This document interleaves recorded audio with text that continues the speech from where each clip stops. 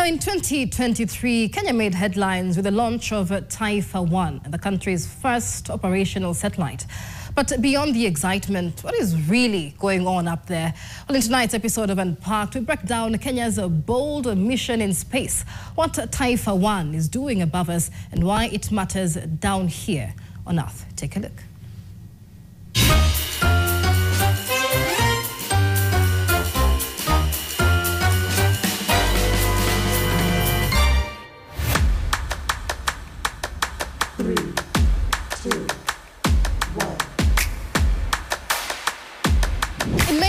2023, Kenya made history with the launch of Taifa 1. SpaceX Falcon 9 rocket. Five, four, three, two, one. Ignition. Engines full power. And liftoff of Transporter 7. Go Falcon, go Transporter. Na hii ili happen after attempting three times and failing. And uh, this is almost everything you need to know about Taifa 1. Taifa 1 separation confirmed. a state-of-the-art satellite developed by the Kenya Space Agency. But what's really going on up there and why should we care?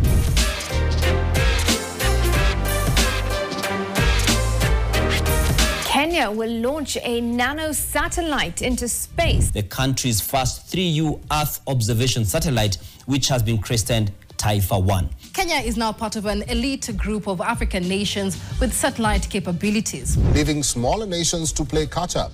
While South Africa, Nigeria, Algeria, and Egypt are making big investments in space. Kenya's newly formed space agency has announced plans to start monitoring drought conditions from space. But this isn't just about tech pride.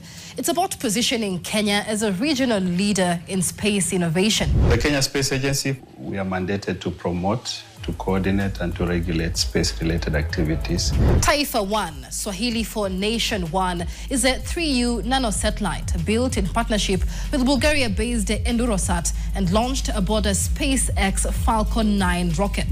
Taifa 1 is simply a selfie camera for our country, taking pictures of Kenya from space in less than 10 minutes for every four days. The satellite is expected to orbit Earth for around three to five years before it burns while re entering the Earth's atmosphere. But beyond the fanfare, what is this satellite actually doing up there? Taifa 1 serves multiple roles, but its most urgent mission is collecting vital data to improve life back on Earth. The satellite is made up of you know sensors. So we have multispectral sensors, we have high optical um, payload sensors, and we also have thermal infrared sensors. So these sensors can help to measure the amount of moisture in the soil, can help in uh, um, in you know like uh, providing um, high quality pictures of the ground and these are some of the ways that yeah satellite can help us in in terms of you know um, uh, solving or tackling issues such as deforestation and climate change applications in agriculture weather monitoring and gps is also uh, one of the application of this satellite because it helps us to determine to determine our position From monitoring climate change to tracking weather patterns, the satellite is feeding us crucial insights, the kind that can shape how we prepare for droughts, manage crops, and build climate resilience. It's also keeping an eye on Kenya's forests, tracking deforestation, spotting illegal logging, and helping in fighting poaching in protected areas. we can use the satellite's data to be able to you know urban plan in urban planning to be able to restructure our city. And it's making waves in education too.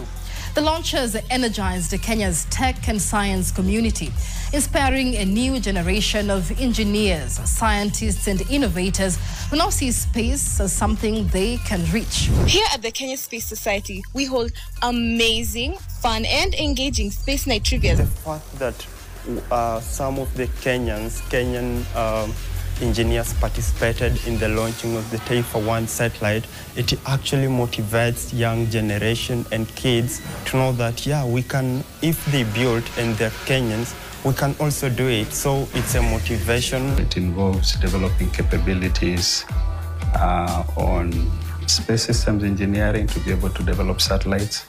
It involves developing capabilities on the launch to be able to actually launch those satellites.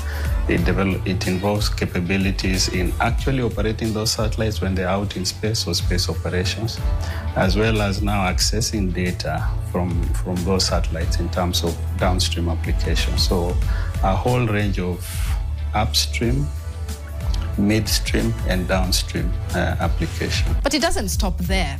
Kenya's space ambitions are attracting global attention, with engineering firms, defense agencies, and international satellite companies eyeing partnerships. Suddenly, Kenya is on the map in the global space race. Still, with great tech comes great responsibility.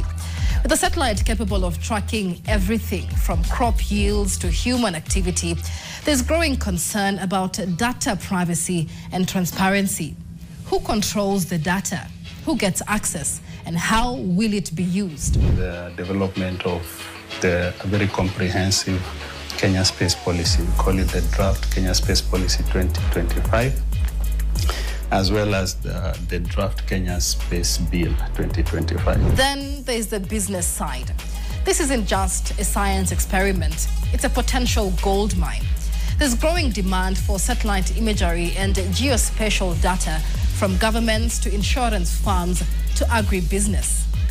By teaming up with private companies and international partners, Kenya is positioning itself to cash in and use that revenue to fund future missions. That we are doing collaboratively with countries in the region, uh, like countries in Egypt, uh, Nigeria, Ghana, uh, Sudan, in the development of a regional satellite. Again, that is intended to support their innovation. That means neighboring states or other African states can benefit from such data and information. That starts a new uh, space collaboration in this region uh, in terms of information and data sharing. And also, it might see that in future we might have regional design satellites or African design satellites that will benefit uh, more countries. So it's very significant in terms of space advancement. Taifa 1 is just the beginning, and with this satellite in the orbit, the sky is no longer the limit.